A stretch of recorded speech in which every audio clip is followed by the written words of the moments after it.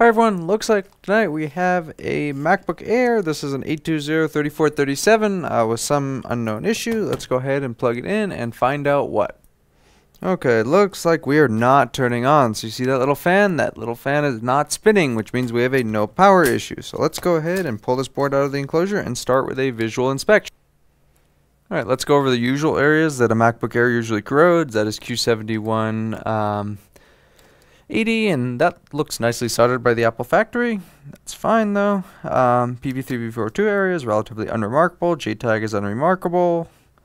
Right here is unremarkable except for some hairs and dust. Backlight, uh, I mean um, LVDS area is pretty clean. I don't see anything wrong there. There is a little bit of corrosion right there so we do know that this may be liquid damaged. Um, this all looks okay. Moving on to the ISL, that looks okay. The TPS 51980 has some slight corrosion. What is this? Hmm. This looks like a problem. Now, what does this area do? Hmm, we'll come back to that in a second. Let's continue on. This is our backlight circuit. That looks really nice, as you can tell. Some little corrosion there, but that doesn't really concern me. Moving on to PCH area, or PCH support area, I should say. A little bit of corrosion by U1950, but nothing too severe. CPU V-core area looks okay. Uh, a lot of people um, mistake probe, probe points that look like this for liquid damage, and they are not. This is just areas of uh, just the color of the brass in manufacturing. So, okay, so we have corrosion right here. Now, what are these traces? So look at these traces. These look pretty bad. So this does not look healthy, as you could probably tell. This looks all corroded and just not good. So let's get a tweezer and let's scrape away at some of this and see what we see. So we notice that this this trace right here is just coming off like there's nothing there. Let's go ahead and get a Q-tip and alcohol and touch that up a little bit. Not touch up, but clean up. So we could see it better.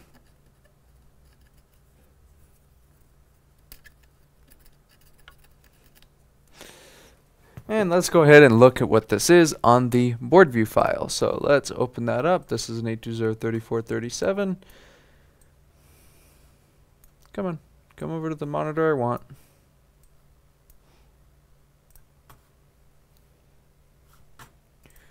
Thirty-four, thirty-seven. Okay, so our corrosion was right over in this area. So here's U1900. Let's look at what the PDF this is for.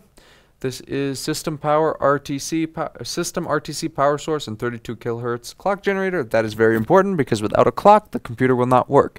Now, this isn't your time clock. This is going to be the clock that puts the PCH and CPU and RAM, all that stuff on a timer so they can each talk to each other and get stuff done instead of just a nonsense mess of noise. But this is the area that was corroded right here. It looks like it would be this resistor right here, R6123. Now, SPI MISO R. Wonder what that is. Let's go ahead and look at that on the uh, PDF file, which seemed to disappear, so we will just carry on here. This is going to go over to here, to this resistor. Um, SPI MISO goes over here to our CPU. Now, this is very important because in order for the CPU to know what to do, it needs to communicate to the BIOS. The BIOS is going to tell the CPU what to do next and all kinds of instructions. So without communication to the BIOS, this will not turn on. A board will not turn on if you do not have communication to the BIOS. So they are going to be connected through a series of SPI termination resistors right here. See, we have a bunch from here, but this is going to be the main concern. We also have a corroded probe point right there, so the trace is most likely no good. So we we may have to run a wire over here to R6113. We don't know yet. We won't know until we get this all cleaned up. So let's go ahead and jump right into this and go ahead and start taking care of these corroded areas. I'm going to put some Amtech NC559 flux down. There's some corrosion right over here too. Let's go ahead and start pulling off these resistors that are bad and replace them with resistors that are better.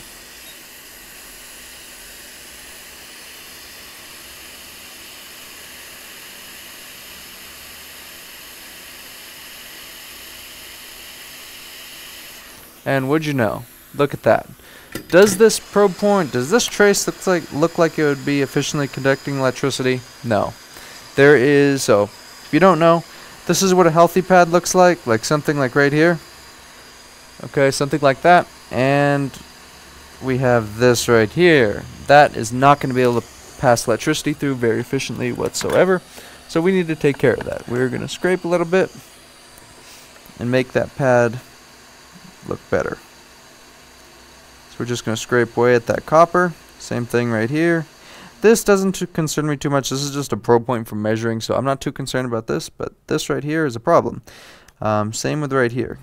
So this may be a problem as well. We'll come back to that. We're going to scrape and then put some uh, solder on top of that and see what that does. So let's go ahead and uh, put more some more flux down. Put some near the BIOS too, because those pins are a little bit corroded. Those can use some help. Same thing right here.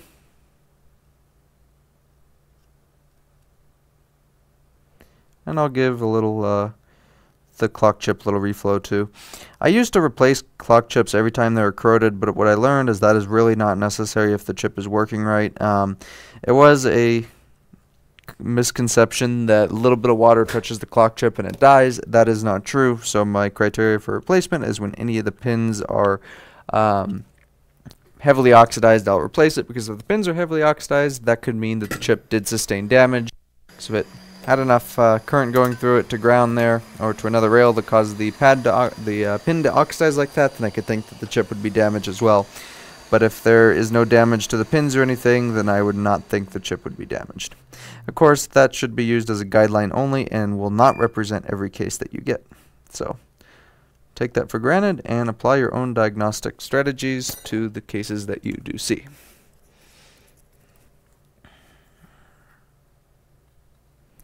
So we have some flux down and solder. We're just going to scrape away at the areas that are corroded and remove all that junk that was down there. I'm going to go with a little bit more flux. I'm actually just going to kind of flood this area because we need we need a good amount.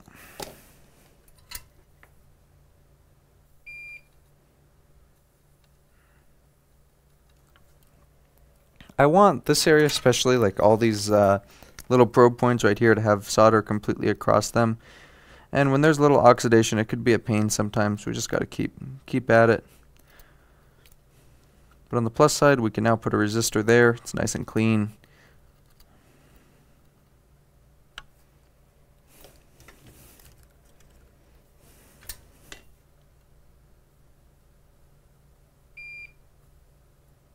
There, perfect.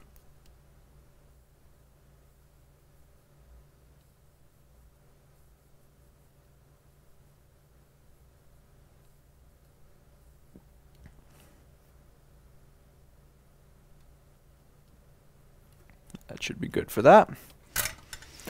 Let's go ahead and put some new resistors down. Let's grab a 820-3437 donor board.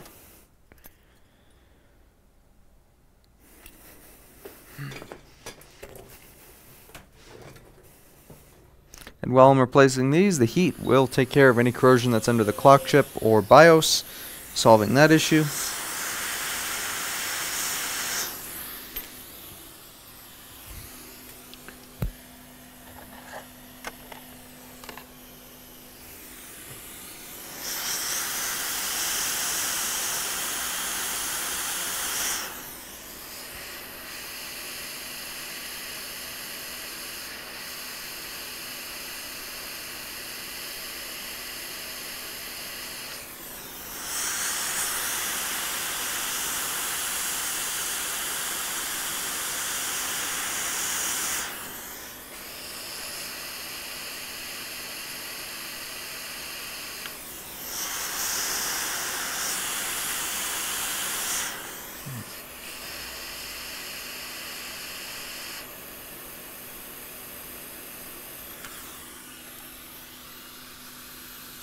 Some more flux, and anytime you see it starts to get a little bit dry there, add some more flux.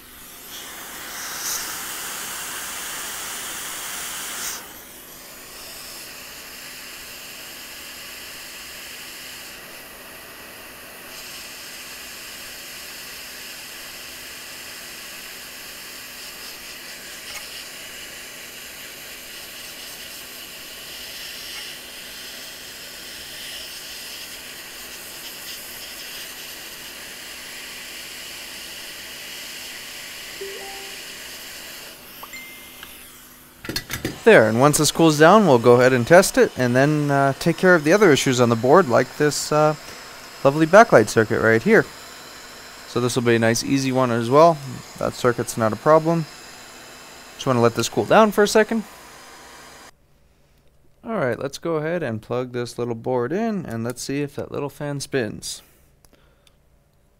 And that is a spinning fan. These uh, 820-3437 boards will power cycle a couple times before finally spinning. So I will let it finish that cycle. It's going to do it one more time after this, and then it should start fully. That's completely normal.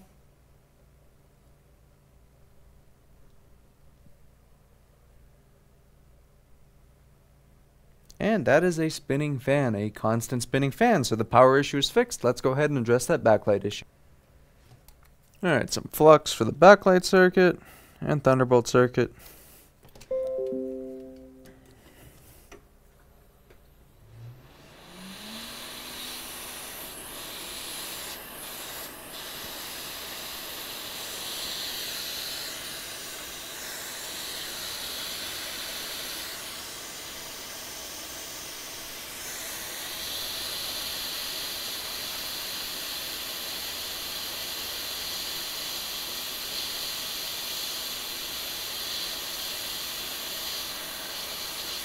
That is off.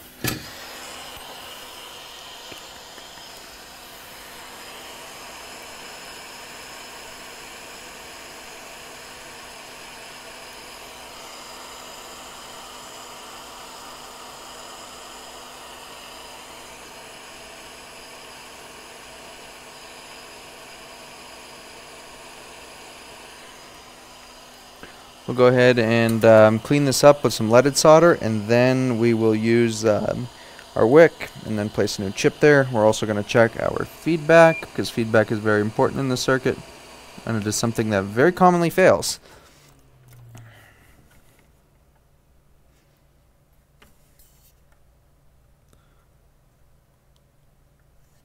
Let's get our solder wick.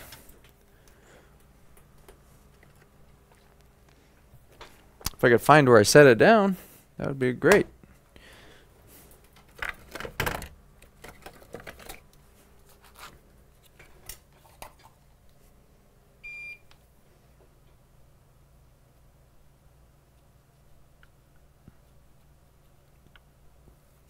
All right, let's go ahead and check feedback. So what we're going to do is get our meter on, and we're going to check continuity from pin 5 over to these two probe points. Super easy to do. So if you're ever doing a backlight driver replacement, always do this. Let me zoom out so you guys can see what I'm doing. So we're going to check from pin 5. Pin 5 is right here. So pin 5 over to this one right here. And then over to this one. And it looks like, nope, we're good. So our feedback trace is fine. We can go in for a new chip. So let's go ahead and put a little bit of flux. I don't like to overuse flux on BGA stuff because it tends to make it a little bit harder. We're going to grab an LP8550. If you can't get an LP8550, an LP8552 will work just as good. Probably 53 will work too, but I have not personally tested 53, so stick with 550 or 52. Both are readily available from Mouser, Texas Instruments, any of those places. Don't overpay for backlight drivers. Like I see people that buy them on eBay for like $15 for a couple of them. Don't do that.